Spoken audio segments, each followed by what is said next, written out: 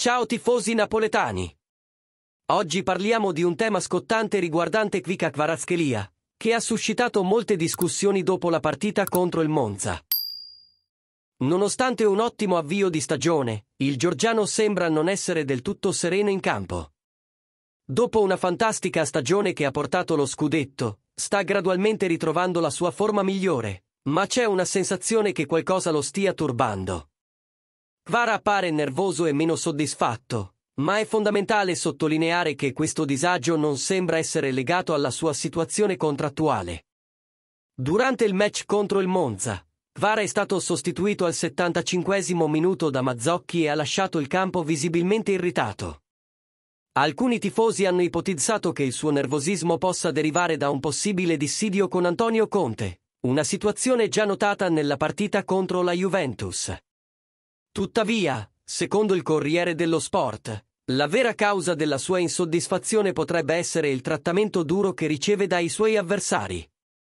In ogni partita, Vara subisce contrasti aggressivi e, nell'ultima sfida, è stato Armando Izzo a tentare di fermarlo in modo molto deciso. Nonostante tutto, Kvara ha risposto alla provocazione segnando il gol del 2-0, dimostrando ancora una volta quanto sia difficile fermarlo. Nel frattempo, Romelu Lukaku non ha ancora convinto del tutto con le sue prestazioni, specialmente dopo il match contro il Monza. Contro la Juventus è stato annullato da Bremer, mentre in Coppa Italia ha giocato solo pochi minuti. Tuttavia, nella partita contro il Monza, Lukaku ha dato il massimo, facendo il lavoro sporco, proteggendo palla e creando spazi per i compagni. La Gazzetta dello Sport gli ha assegnato un voto di 5,5, giudicando la sua prestazione insufficiente.